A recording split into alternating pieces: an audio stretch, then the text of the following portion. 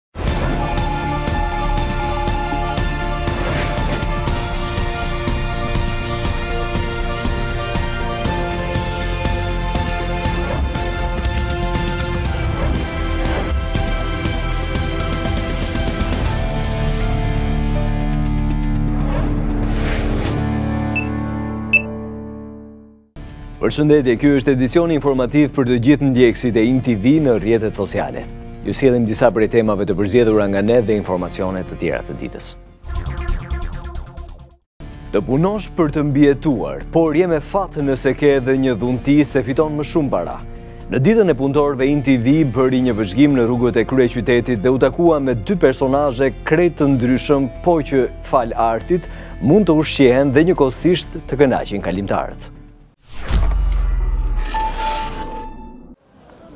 Papunësia është rritur në vendin tonë dhe jo të gjithë kanë mundësi të gjejnë vetë vendin e punës për faktin që jo vetëm s'ka, Vende pune, po dhe se shumë personave nuk u përshtaten profesionet me kërkesat e tregut të punës. Një kategori që e ka më të lehtë për të fituar para dhe për të jetuar janë ata që kanë një dhunti. INTV ka zbuluar sot dy personazhe interesante, një të ri student që bën punime me dorë dhe shkruan dedikime, së bashku me të fejuarën e tij dhe një burrë në moshë që këndon për të jetuar. Të rinjtë që takuan fillimisht janë nga Shkodra dhe sot ndodhen në Tiranë që të bëjnë ca para. Ata rrëfejnë historinë e tyre. Puna që baj quhet eh, pirografi. Ne bajmë shkrime n'çast emra, iniciale personash, ka forma t'ndryshme, zemra. Zakonisht në ditë festa ka ma tepër punë, se atëherë janë njerëz gati me shpenzu. Me të hollat që fiton, çfarë bën? Atëherë, me të hollat që fitoj, gjaja e parë mundohem me investu te arti që baj unë. Edhe e dyta mundohem me shfrytëzu për udhëtime, për me shëtit. Kjo ishte edhe shitja e parë e tyre për sot. Kujt ia kushtove? Familjes time. Tre pjesëtarë. Tre pjesëtarë, po, tre. Unë, djali edhe burri. I shkruat mbi një zemër. Po. Por kur e pyetëm këtë të ri për dedikimin më të veçantë që i kanë kërkuar, u habitëm dhe ne me përgjigjen e tij. Për vjehrrën time thjesht kaq. Edhe emrin e personit që ia dedikonte ishte mashkull.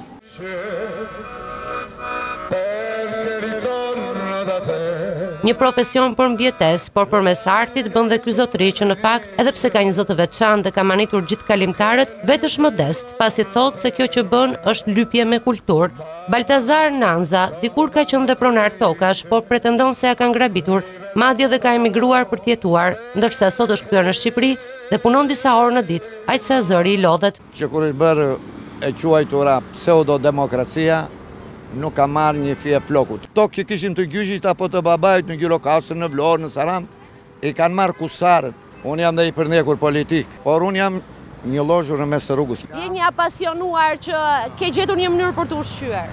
Unë, kjo mënyrë për të ushqyer, për të jetuar është, por kam pas nënë, babanë, artista, vëllezërit. Unë kërkoj lëmoshë, kjo është gjëja më e ndershme për mua, lëmoshë i them tjetrit. Dilni çdo ditë këtu?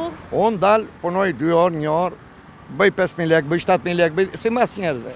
Ah voglio di morire, non posso più cantare, non chiedo di più. Gëzuar ditën e një majit. Nuk mund të gjesh punë duke sharë kryeministrin në Facebook. Kështu deklaroi kryeministri Edi Rama pasi vizitoi panairin e punës në Tiranë. Edi Rama ndaloi në çdo stendë duke pyetur për numrin e vendeve të lira të punës, ndërsa nuk nguroi të shfaqë si shqetësuese kërkesën e qytetarëve për të punuar vetëm në shtet. Sa punonjës u keni nevojë?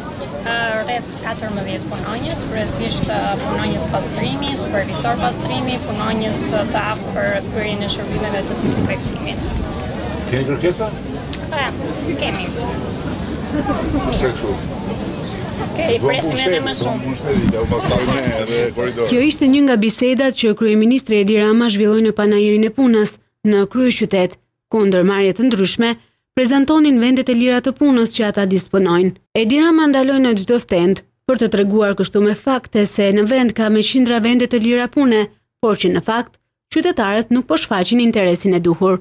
Ajo që shqetëson kryeministrin, e që Edi Rama nuk nguroi ta thotë publikisht, është kërkesa e lartë e qytetarëve për t'u punësuar në shtet, ndërsa tek privati ka me qindra vende të lira pune. Këtu në këtë panair mund ta shikoni që ka jo vetëm paga të ulta, po ka dhe paga mesatare, ka dhe paga të larta. Pra ka banka që kërkojnë punonjës, ka kompani të mdha që kërkojnë menaxherë.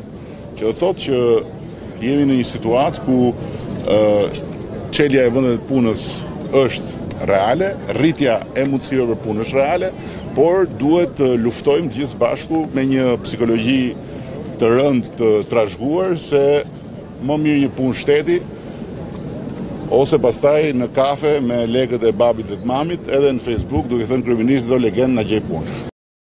Një vend i varfër si yni të paktën për ushqimet nuk kursen. Shpenzojmë shumë më shumë se mesatarja europiane. Afro 32.4% e prodhimit të brendshëm bruto shkon vetëm për t'u ushqyer. Të dhënat e Eurostat na rendisin në vendin e parë në rajon për shpenzimet për produktet ushqimore. Edhe pse jemi të varfër, po renditemi si vendi që shpenzon më shumë për t'u ushqyer. Kjo lidhet dhe me faktin se çmimet janë më të shtrenjta se pagat që marrim. Sipas të dhënave të fundit të publikuara nga Eurostat, Shqipëria shpenzon tridhjetë e dy pikë katër për qind të prodhimit të brendshëm bruto vetëm për ushqime. Në rajon jemi të parët dhe ndiqemi nga Kosova, Mali i Zi, Bosnja, Maqedonia dhe në fund renditet Serbia. Vetëm për bukë dhe drithëra Shqipëria shpenzon pesë për qind të asaj që prodhon ekonomia ndër vite dhe në këtë drejtim shpenzojmë më tepër se vendet e tjera europiane. Sipas analizës së Eurostat, sa më i varfër të jetë një vend, aq më tepër shpenzon për ushqime, pasi ushqimi është një nevojë e domosdoshme dhe vetëm pas plotësimit të tyre Njerëzit mund të mendojnë për nevoja të tjera më pak jetësore, ku i fundit vjen argëtimi.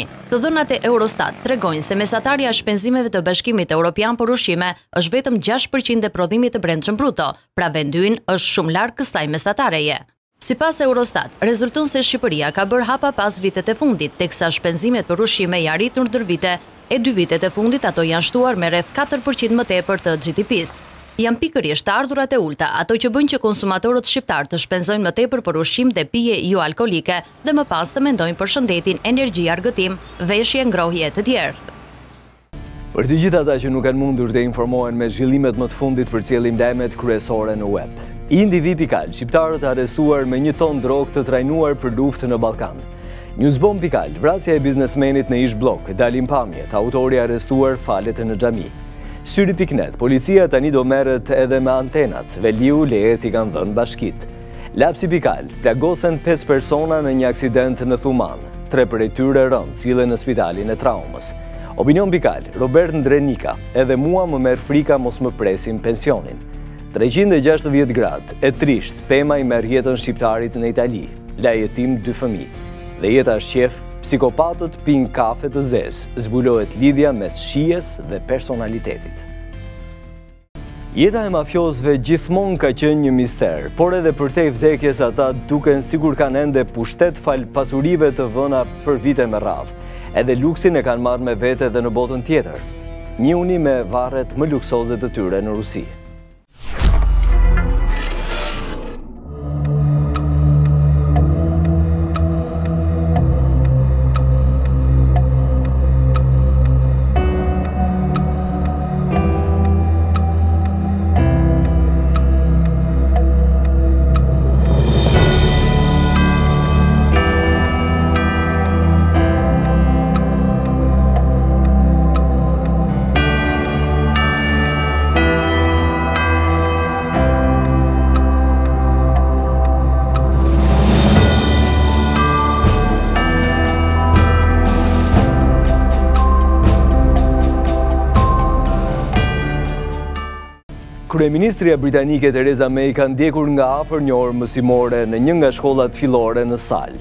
May po merr shumë vëmendje dhe po vlerësohet gjithmonë e më shumë për afrimitetin e saj me target mosha të ndryshme, e së fundmi edhe me brezat e rinj.